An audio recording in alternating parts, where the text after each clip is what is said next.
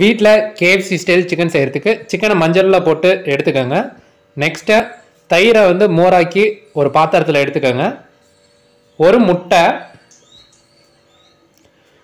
இஞ்சி பூண்டு பேஸ்ட்டு மிளகாத்தூள் பெப்பர் தூள்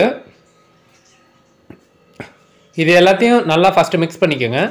நெக்ஸ்ட்டு தேவையான அளவுக்கு உப்பு அதையும் போட்டு நல்லா மிக்ஸ் பண்ணிக்கோங்க. நெக்ஸ்ட்டு சிக்கன் பொடி ஸோ இது எல்லாத்தையும் மிக்ஸ் பண்ணதுக்கப்புறம் ஒவ்வொரு சிக்கனாக போட்டு மேரினேட் பண்ணுறதுக்காக கொண்டு போய் அதில் போட்டுருங்க எல்லாத்தையும். ஸோ இது எல்லாத்தையும் போட்டு முடிச்சதுக்கப்புறம் ஃப்ரிட்ஜில் போய் ஊற வச்சுருங்க மூணு மணி நேரத்துக்கு.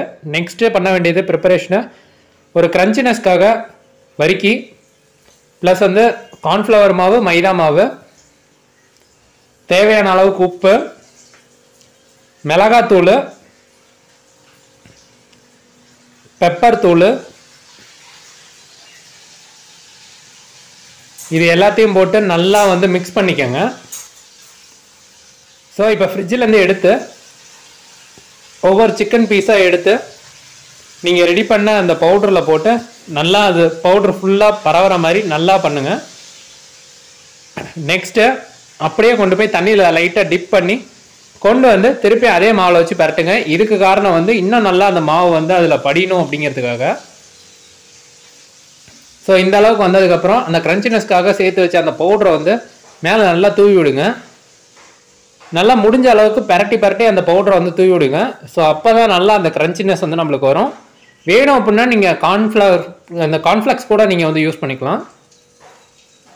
ஸோ நெக்ஸ்ட்டு வானொலியில் எண்ணெய் நல்லா சூடானதுக்கப்புறம் சிக்கனை போட்டு பொறிச்சு எடுத்துட்டீங்க அப்படின்னா நம்மளுக்கு கேஎஃப்சி ஸ்டைல் சிக்கன் வந்து ரெடி ஸோ ஹாட்டாக இருக்குன்னா நீங்கள் வந்து ஒரு தட்டில் வந்து சர்வ் பண்ணிட்டு அதை நல்லா ஃபஸ்ட்டு பாருங்கள் ஸோ உங்களுக்கு அந்த க்ரன்ச்சினஸ் தொடம்போதே தெரியும். ஸோ இது எந்த அளவுக்கு இருக்கும் அப்படின்ட்டு. ஸோ இதை எடுத்து நான் பைட் பண்ணேன். ஃபஸ்ட்டு பைட்டில் அந்த மேலே உள்ள அந்த மாவு மட்டும் தான் க்ரன்ச்சினஸோட வந்துச்சு.